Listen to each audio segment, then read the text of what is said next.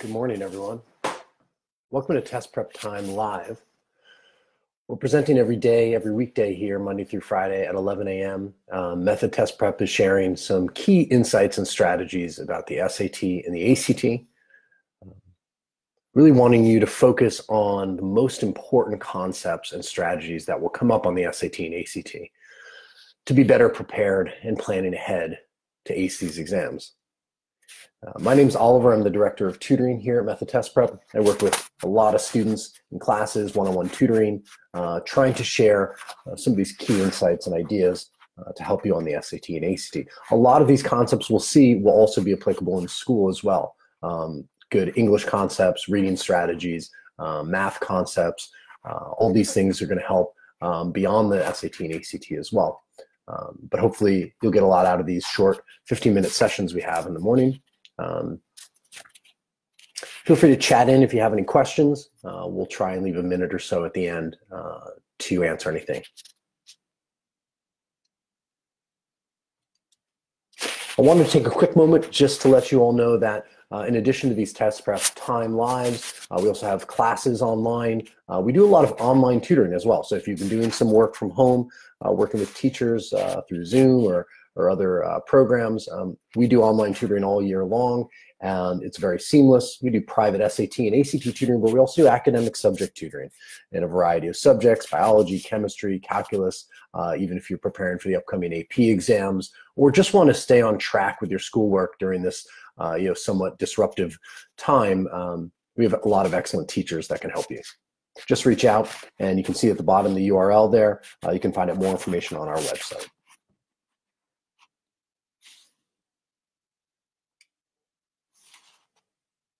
All right. Today we're going to talk about similar triangles. Um, geometry features pretty heavily on these exams, uh, a little bit more so on the ACT, but the SAT has um, a good amount of geometry questions and they seem to be really focused on similar concepts that come up a lot. And one of those is similar triangles. Uh, this is something you'll see on both the SAT and ACT pretty regularly. Uh, you want to get familiar with all the aspects of it and just be able to look for certain signs and patterns that can direct you to what you need to do. Um, obviously, with math, uh, we do have to know certain rules and formula uh, to do well on these sections. So we bring some knowledge from school into these tests. And then we have to join that with some strategies and insights about the, the tests themselves and the format of the test and, and how they present this information. You might be familiar with some of these concepts from um, earlier in school, uh, and you want to get used to seeing how they show this on the SAT and ACT, things to look for. All right, first, just a quick review of some key concepts when it comes to similar triangles. Similar triangles are best thought of as a small version of a larger triangle or a large version of a smaller triangle. It's sort of like shrinking uh, or growing a triangle. And so it really involves the math concept of proportion. In two similar triangles, all the corresponding angles are equal and all the corresponding sides are in proportion. So one of the first things that you can do is just make sure you see the correct corresponding parts of both triangles. If it if it requires you to like redraw it a little bit, you can. Uh, just make sure you have the right sides and angles lined up because it's a proportion idea, setting up a correct proportion is really going to be the key part of solving most of these questions. You're definitely going to have to know some triangle rules at times, um, such as area of a triangle, Pythagorean theorem, um, basic trig functions like SOHCAHTOA. Those will come into play at times. So we have to know our triangle rules and formula pretty well. I'm going to show you a couple common shapes that can hint that you're dealing with a triangle, a similar triangle question. And just a warning to read carefully. Um, I'll show you an example where uh, if you move too quickly, you might get the answer wrong, but you have to look at the actual question. Always know what you're going for on the math questions. Let's take a look at some basic um, ideas that we're going to need for some of these problems today. Um, obviously, the area of a triangle is one half the base times the height. Uh, that will come into play sometimes. Um, the next one you see here is the Pythagorean theorem. c squared equals a squared plus b squared, where you can take two sides of a right triangle and find the hypotenuse, or if you have the hypotenuse, work your way back to one of the sides. Um, that will come in handy. And of course, uh, really the basics, Trig 101. Um, there's not a tremendous amount of trigonometry on either of these exams, uh, but you do need to know sort of the basic SOHCAHTOA um, mnemonic device there for sine opposite hypotenuse, cosine is adjacent over hypotenuse, and tangent is opposite over adjacent. Now, as you can see here on these two triangles I've drawn, um, these are similar triangles, and what you want to remember about similar triangles are they're essentially the same triangle, just grown or shrunken down. Um, so what we're really trying to figure out with similar triangles is how much have we grown the triangle to make it the bigger one, or how much have we shrunk it down um, to make it the smaller one? Basically, what is the ratio or relationship between these two triangles? You definitely want to remember that as you can see here, I've lined up both triangles in similar orientation or position. And this is going to allow me to match the corresponding parts. Angle A is in the same position as angle D, and these two angles are exactly the same. Angle B and angle E, you can see, in this case are actually right angles. So those are both 90 and those are equal. And of course, C and F in corresponding positions are also the same degree measure. Now, the side AB here will be in a proportion to the side DE, the corresponding side. So let's say this side was 4. We know if we for instance, doubled this triangle to make it bigger, this side would be 8, and it would correspond to that side. So what I'm doing is, to get to this triangle, I'm doubling everything. Let's say EF is 3, well then BC must be 6. And if my hypotenuse of the small triangle is 5, the bigger one is a hypotenuse of 10. Okay? all the corresponding angles are exactly equal. Doesn't matter how big or small you make your triangle, those angles won't change, those values won't change. They'll always be the same amount of degrees. It's the sides that are really growing or shrinking by a similar factor or multiple. In this case, we're just doubling to get from DEF to ABC. I want to look at a few more really important concepts that come up on these questions to make sure you have these sort of in your back pocket and that you're looking for them as well. What I often tell students is it's not simply that you're memorizing these to get the question right, which is of course important. Um, but even on the SAT, they do provide a couple of geometry formula right in the test for you. So you can reference back on the first page and see them. Um, not everything you need, so you do need to memorize a lot. But it's not so much going back. It's about knowing these well enough that you can recognize them when you look at the problem. Sometimes it's not just about solving it, it's about recognizing it early on that you're dealing with certain familiar concepts, uh, familiar shapes, familiar patterns. Here's a really important one the good old 345 Pythagorean triple. So when we talk about a Pythagorean triple, we're talking about a relationship between the three sides of a right triangle. Now, if you've got two of the sides, you could always use the Pythagorean theorem to solve for the missing side, and that's fine. If you get stuck, you can always do that. I'm just trying to provide for you a little shortcut here to recognize if a triangle has some pattern in a ratio of sides with the base or the height being three or four or a multiple, you can guarantee that the hypotenuse will be five or a multiple of five. And that's just a Pythagorean triple that they've mathematicians have already worked out for us. So you can just memorize it. You don't have to go through the process of doing the entire Pythagorean formula. You also need to recognize when it's a multiple of a special uh, a Pythagorean triple. So on the left, you can see you may not immediately notice the pattern of the sides, but it's the same 345 triangle. It's just been expanded five times. It's, it's multiplied everything by five. So the base goes from 3 to 15, the height goes from 4 to 20, and the hypotenuse, of course, goes from 5 to 25.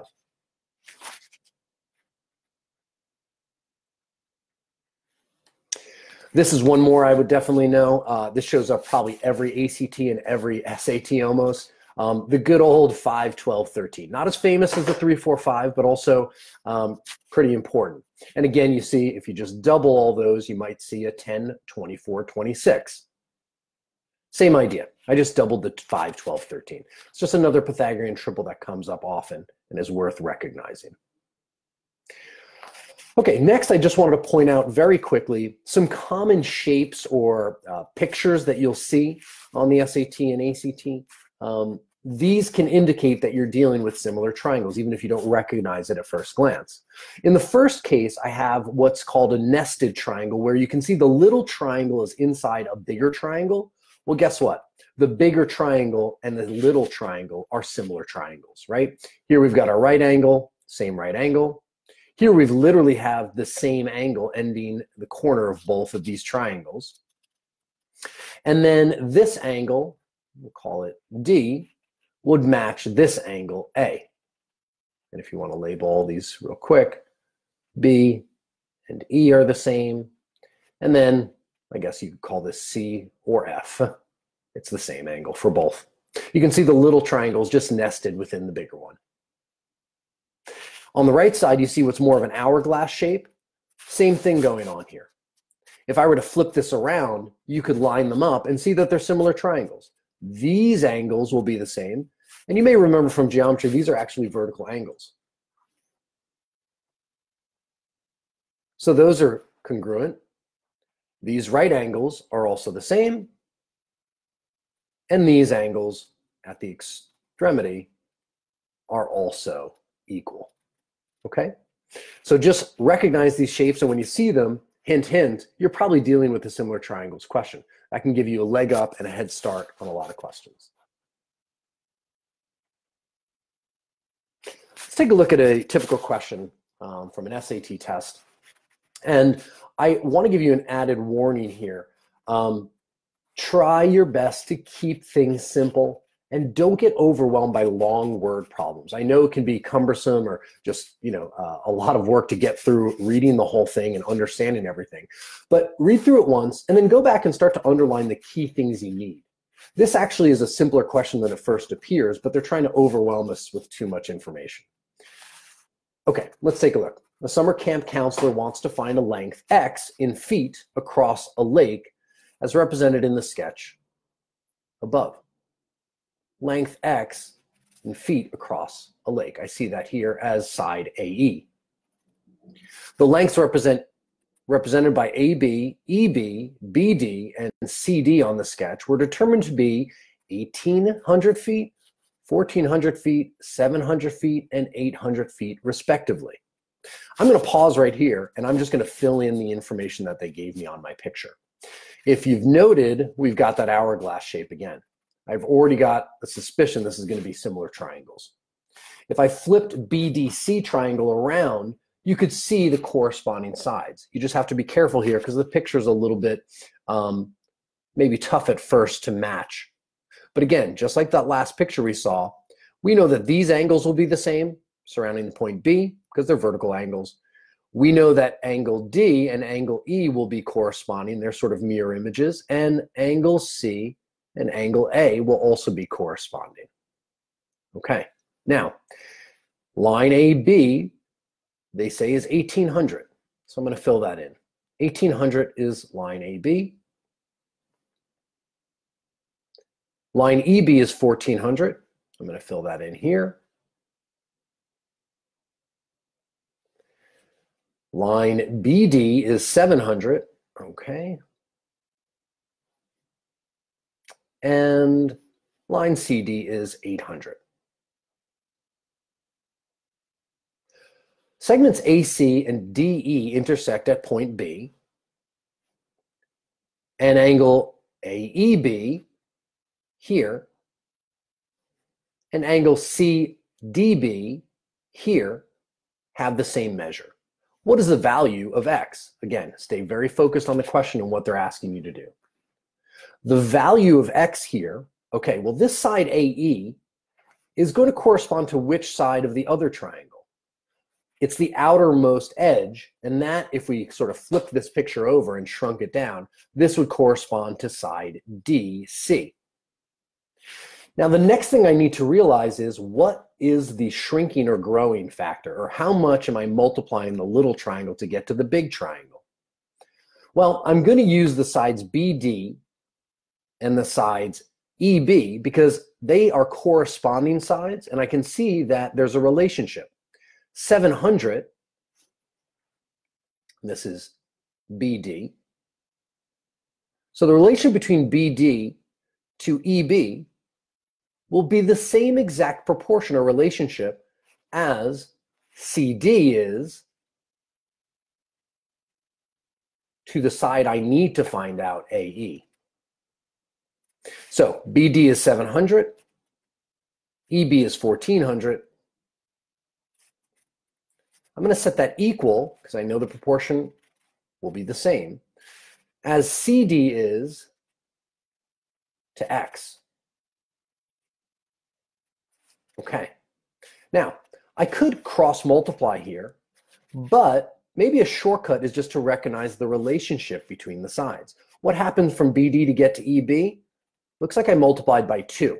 I just doubled it. Okay, the big triangle is just ABE is just a double of BDC. It's just twice as big. So side CD is also going to get doubled, and the value of X must therefore be double 800, which is 1600. And even without choices here, this was a grid-in question, I have the correct answer, 1600.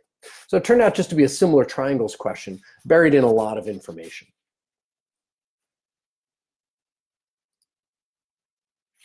Let's take a look at another problem here. And this is one that shows a sort of trap that the SAT or the ACT like to do at times. And you have to read the question carefully. Okay, you see the hourglass shape again? Hint, hint probably similar triangles. We want to make sure we understand which sides are corresponding and which angles. This angle or vertical angles around point B will be the same. D matches A again, sort of the mirror image. And C matches E in this picture. Those are the same. Now, in the figure above, AE is parallel to CD, that helps because you may remember a transversal cutting between two parallel lines has some helpful rules like vertical angles, alternate interiors, um, any way you want to think about it, either as a transversal or two similar triangles. If you just flip the little one around, you can match up the sides. The segment AD intersects CE at B. We can see that in the picture. What is the length of segment CE? Okay. Well, if you notice, I have two similar triangles and I want to find out what the relationship or proportion is. It looks like BD is corresponding to side AB. And what's happening? 5 becomes 10. Okay, I'm doubling. The ratio is 5 to 10, or really 1 to 2. So I can use that same information to make a relationship between BE and its corresponding side in the little triangle CB.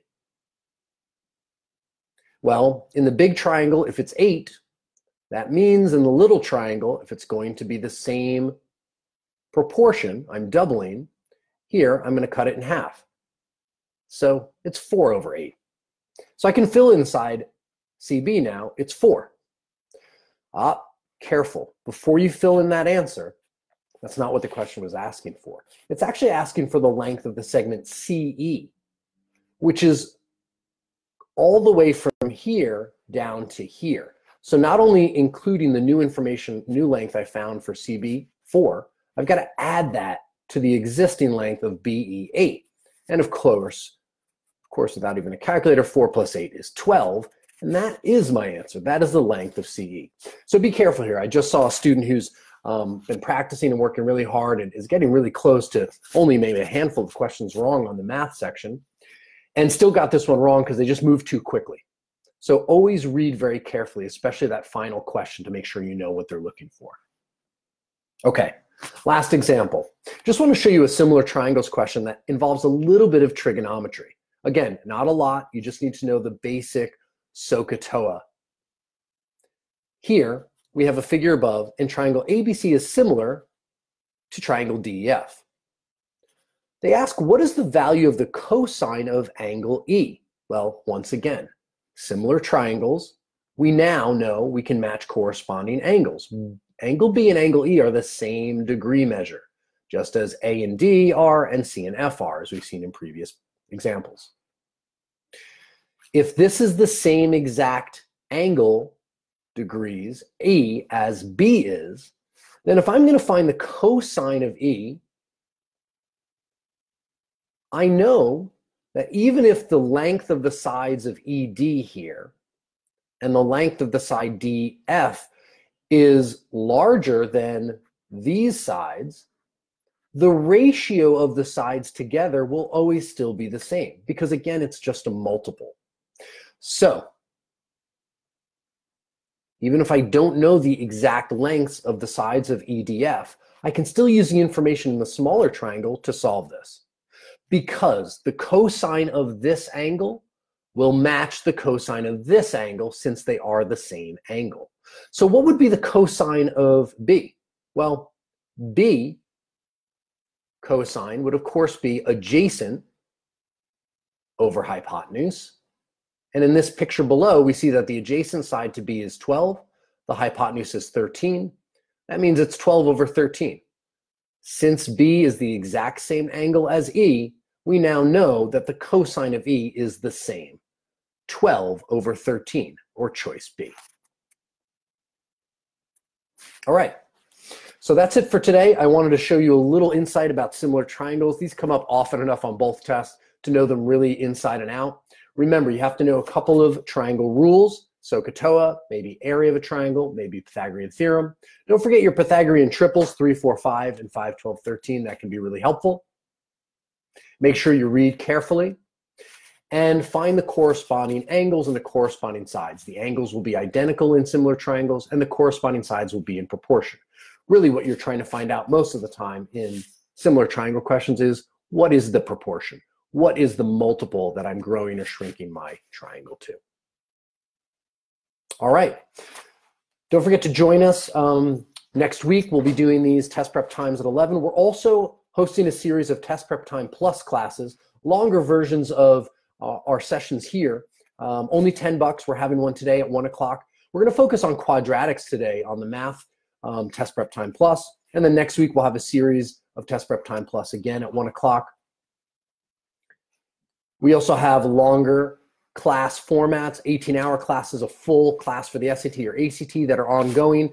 We're starting every few weeks. Uh, jump on our website and find one that looks good for you. We have an excellent software program that you can use on your own without a teacher, without a class. You can get a lot of prep done, see all the concepts and strategies you need. It's actually 50% off for anyone on today wants to put in the future, uh, the code future at checkoff, um, sorry, checkout, and you can get 50% um, off this program you can use um, throughout uh, all your prep. And if you have any questions, just reach out. Happy to speak with anyone, advise you on your test prep plan, just answer general questions about the SAT or ACT.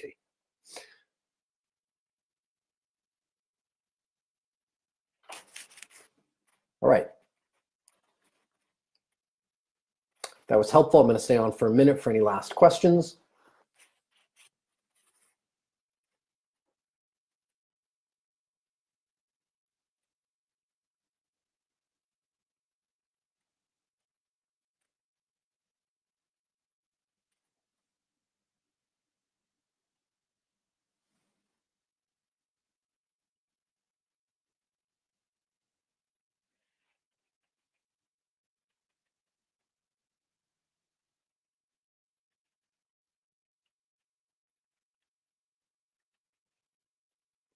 All right. Thanks, everyone. Have a great day.